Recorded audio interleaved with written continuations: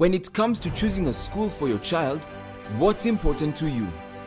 Academic scores, discipline, co-curricular activities, dedicated teachers, or rich after-school programs?